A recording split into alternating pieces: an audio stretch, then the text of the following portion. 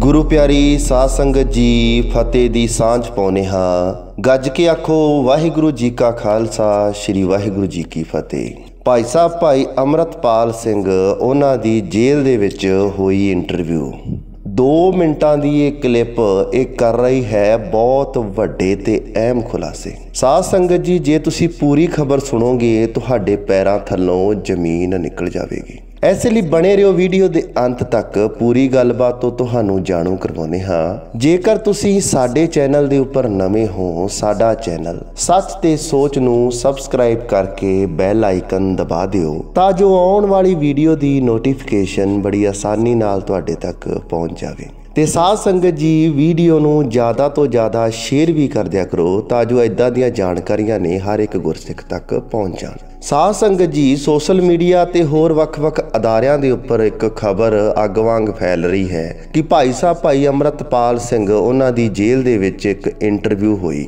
ਅਤੇ ਇੰਟਰਵਿਊ ਦੇ ਵਿੱਚ ਭਾਈ ਸਾਹਿਬ ਨੇ ਬਹੁਤ ਅਹਿਮ ਖੁਲਾਸੇ ਕੀਤੇ, ਜਿਸ ਦੇ ਨਾਲ ਸਰਕਾਰਾਂ ਦਾ ਪਰਦਾ ਫਾਸ਼ ਹੋ ਗਿਆ ਕਿ ਸਰਕਾਰਾਂ ਪਿੱਠ ਪਿੱਛੇ ਕੀ ਕੀ ਸਾਜ਼ਿਸ਼ਾਂ ਰਚ ਰਹੀਆਂ ਨੇ ਆਪਣੇ ਸਿੱਖਾਂ ਦੇ ਨਾਲ, ਬੰਦੀ ਸਿੰਘਾਂ ਦੇ ਨਾਲ।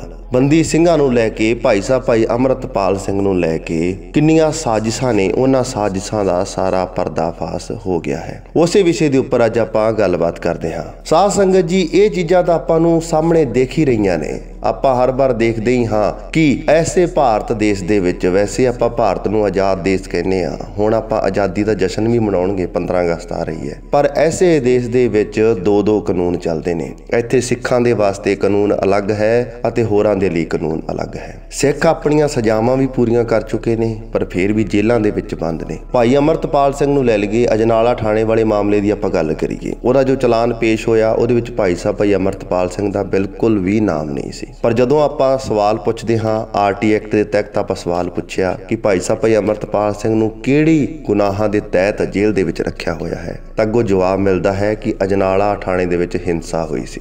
ਪਰ ਅਜਨਾਲਾ ਥਾਣੇ ਨੇ ਜੋ ਚਲਾਨ ਪੇਸ਼ ਕੀਤਾ, ਉਹਦੇ ਵਿੱਚ ਭਾਈ ਸਾਹਿਬ, ਭਾਈ ਅਮਰਤਪਾਲ ਸਿੰਘ ਦਾ ਨਾਮ ਹੀ ਨਹੀਂ। ਚਲੋ, ਇਹ ਗੱਲ ਛੱਡੋ। ਹਰਿਆਣੇ ਦੇ ਵਿੱਚ ਜਦੋਂ ਹਿੰਸਾ ਹੋਈ ਸੀ ਸਾਰੇ ਥਾਣੇ ਨੂੰ ਫੂਕ ਦਿੱਤਾ ਗਿਆ। 6 ਲੋਕਾਂ ਦੀ ਮੌਤ ਵੀ ਹੋ ਗਈ ਸੀ। ਉੱਥੇ ਦੱਸੋ ਵੀ ਕਿਸ ਬੰਦੇ ਨੂੰ ਐਨਐਸਏ ਲਗਾਈ ਗਈ ਅਤੇ ਕਿਸ ਨੂੰ ਜੇਲ੍ਹ ਦੇ ਵਿੱਚ ਭੇਜਿਆ ਗਿਆ। ਫਿਰ ਆਹੀ ਗੱਲ ਹੋਈ ਕਿ ਇੱਕ ਦੇਸ਼ ਦੇ ਵਿੱਚ ਦੋ ਦੋ ਕਾਨੂੰਨ ਚੱਲਦੇ ਨੇ। ਇੱਥੇ ਪੰਜਾਬੀਆਂ ਦੇ ਲਈ ਕਾਨੂੰਨ ਹੋਰ ਨੇ ਅਤੇ ਹੋਰਾਂ ਲਈ ਕਾਨੂੰਨ ਹੋਰ। ਸਰਕਾਰਾਂ ਚਾਹੁੰਦੀਆਂ ਨੇ ਨਸ਼ਲਕੁਸ਼ੀ ਕਰਨਾ। ਔਰ ਨਸ਼ਲਕੁਸ਼ੀ ਆਪਣੀ ਹੋ ਰਹੀ ਹੈ। ਉਹ ਚ ਜ਼ਿੰਮੇਵਾਰ ਕੌਣ ਹੈ? ਜ਼ਿੰਮੇਵਾਰ ਆਪਾਂ ਹੀ ਹਾਂ।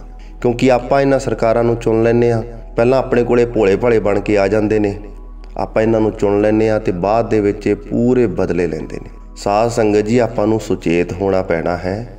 ਖਾਲਸੇ ਦਾ ਰਾਜ ਐਦਾਂ ਨਹੀਂ ਆਉਣਾ। ਐਦਾਂ ਖਾਲਸੇ ਦਾ ਰਾਜ ਨਹੀਂ ਆਉਣਾ ਐਦਾਂ ਤਾਂ ਖਾਲਸੇ ਬੰਦੀ ਬਣਦੇ ਰਹਿਣਗੇ। ਕਦੇ ਬੰਦੀ ਸਿੰਘ ਭਾਈ ਹਵਾਰਾ ਸਿੰਘ ਵਰਗੇ ਹੋਗੇ ਅੱਜ ਭਾਈ ਅਮਰਤਪਾਲ ਸਿੰਘ ਵਰਗੇ ਹੋਗੇ ਕੱਲ ਨੂੰ ਕਿਸੇ ਨੂੰ ਹੋਰ ਨੂੰ ਬਣਾ ਦੇਣਗੇ। ਖਾਲਸੇ ਦਾ ਰਾਜ ਲਿਆਉਣਾ ਹੈ ਤਾਂ ਇਕਜੁੱਟ ਹੋਣਾ ਪੈਣਾ ਹੈ। ਸਾਧ ਸੰਗਤ ਜੀ ਤੁਹਾਡੀ ਇਸ ਵੀਡੀਓ ਬਾਰੇ ਕੀ رائے ਹੈ ਤੁਸੀਂ ਕਮੈਂਟ ਕਰਕੇ ਆਪਣੀ ਜਾਣਕਾਰੀ ਜਰੂਰ ਦੇ ਸਕਦੇ ਹੋ ਤੇ ਵੀਡੀਓ ਨੂੰ ਜ਼ਿਆਦਾ ਤੋਂ ਜ਼ਿਆਦਾ ਸ਼ੇਅਰ ਵੀ ਕਰੋ ਸੋ ਆਓ ਗੁਰਫਤਿਹ ਪ੍ਰਵਾਨ ਕਰੋ ਗੱਜ ਕੇ ਆਖੋ ਵਾਹਿਗੁਰੂ ਜੀ ਕਾ ਖਾਲਸਾ ਸ੍ਰੀ ਵਾਹਿਗੁਰੂ ਜੀ ਕੀ ਫਤਿਹ